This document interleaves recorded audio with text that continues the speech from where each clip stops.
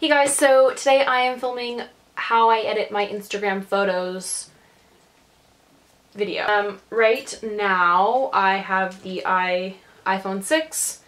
Um, I use, I have a whole photography folder, but the two main apps that I use are Facetune and VSCO Cam. I have a ton of other ones, but I never use them. And I use the Instagram layout app as well sometimes, but Facetune and VSCO Cam are you literally the only ones that I use. Actually taking the photo, any selfies, so like, pick, everyone knows what a selfie is, I don't know why I'm trying to explain what a selfie is. Um, any selfies I usually take on the camera that I'm filming on now against a white wall. Um, I like a clear image or yeah, I try to take like most of my pictures on this if I can, but if I'm like actually out doing something and I'm actually like using Instagram for what it's for, for like posting a picture of what you're doing at that time, I just use my camera uh, on my phone. But what I do is before someone just said something really nice to me. oh my god, that was so nice. Um, so I'm taking the picture on my actual phone. I always clean the lens first, so just clean it on here. And then I make sure that, you know, the picture's gonna sort of fit my theme. So I try to like incorporate the grays and the whites because my theme right now is kind of like that white gray sort of theme honestly I'm really bad at keeping a theme. I have no idea like what's like what's going on. So like sometimes it like fits perfectly and then I'll post one photo and it doesn't fit my theme at all but like whatever who cares? Yeah so always wipe off your lens and try to get the best lighting possible. Good lighting iPhone photos versus bad lighting iPhone photos is a world of difference. Like if you're in a bad light your iPhone photo will look like you're on an iPhone 4 and then if you're in a good light it'll make it look like it's taken with like a DSLR. So, so let's get right into the actual editing process. If sending myself the picture. So I'm just going to show you how this is like the one of my Instagrams I did. I'm just going to show you how I edited this picture. So I'm just going to save that picture and I send it from my computer to my iPhone. And then what I will do is I will, I will go here and go to Facetune. And I will open the photo that I want, so this one. And yeah, so it looks like this, and then what I'll do is I'll go right here and take uh, the whitening, the teeth whitening tool, and I will white the whole background. Sorry this is really shaky.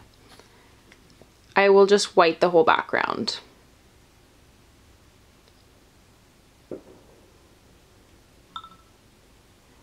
Okay, Sharon, you're in my video now.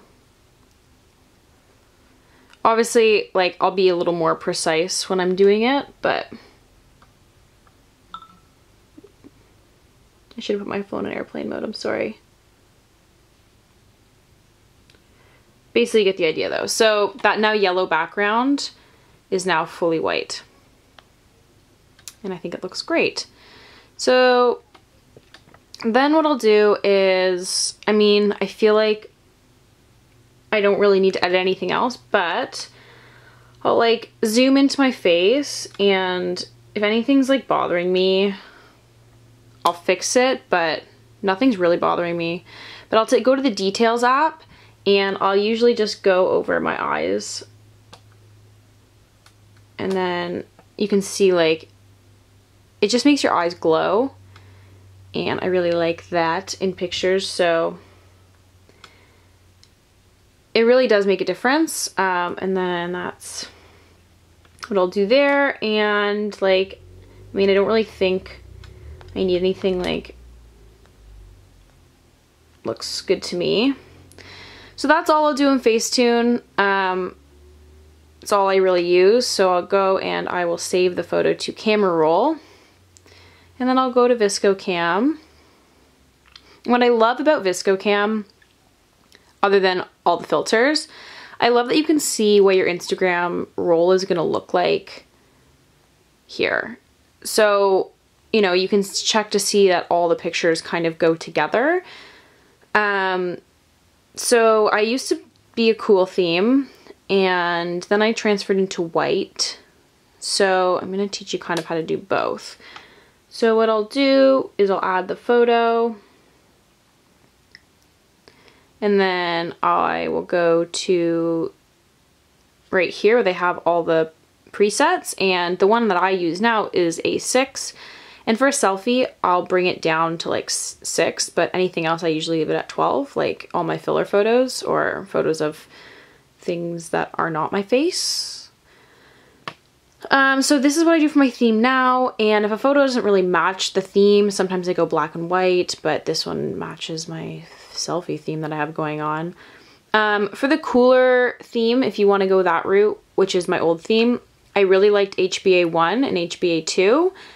Um, and P5 is if you're going to go like really, really cool.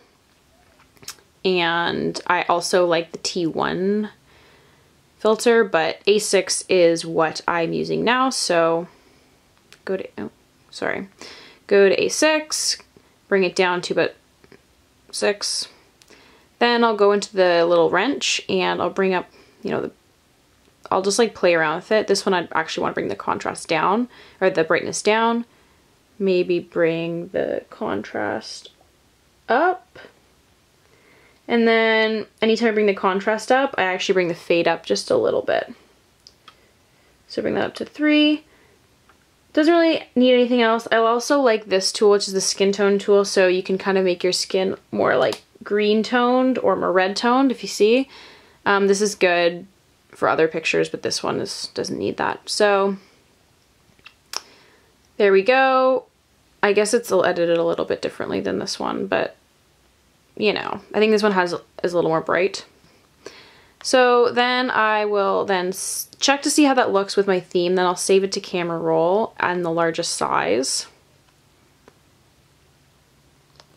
And then I will go to Instagram and I'll figure out how I want to set it. So, I mean, I like this little tool. Um, there's also like the layout. Let's open it in layout. Um, where you can do like all this fun stuff where I've done this before. I don't know, you know, you know the drill. But we're not going to do that for this picture. Okay, go back. So we're just going to leave it like that, press next, and then I take the sun. I usually bring the sun to about 23, and then I go into the wrench, and I bring the brightness up a little bit, probably to about 23, 25. Um, I'll play around with it, see how I like it, and then I'll fill in all this and then I'll post the photo. Um, this is what my current Instagram looks like theme-wise. Um, pretty cool. So if you want a little Instagram theme like this, you can follow this tutorial and get a cool Instagram theme like this. Otherwise, you do you, rock your own Instagram.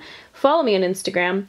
Follow me on Twitter as well, and I'd really appreciate it if you also like my Facebook page. I'm trying to up my likes on that. Otherwise, I love you. Thanks for watching. Talk to you soon.